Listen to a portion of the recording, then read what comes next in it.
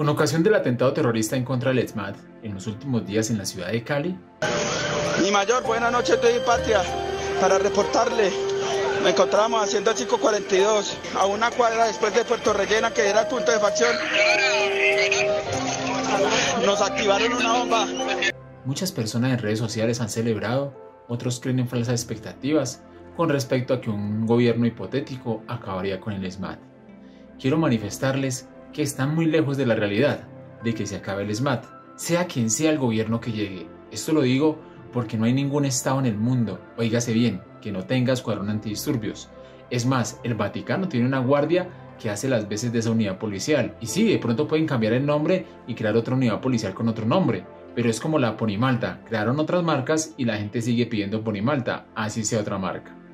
Ahora bien, el ESMAD se creó por allá en el año de 1999, primero mediante una directiva transitoria del mismo año y posteriormente mediante una resolución de 1999.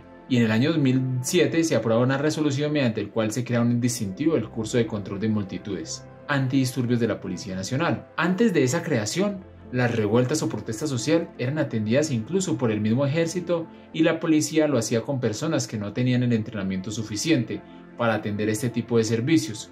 Por eso las víctimas fatales eran más altas que con la posterior creación del SMAT.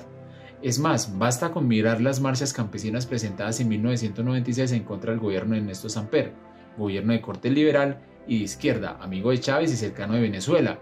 A esta hora la situación es bastante complicada. Todo esto sucedía durante las marchas cocareras que comenzaron el 29 de julio de 1996. Cuando se armó el enfrentamiento, cuando estuvieron ya de frente raspachines contra el ejército, pues la cosa se puso bastante difícil, porque pues era piedras, machete y del otro lado la posibilidad de que hubiera disparos.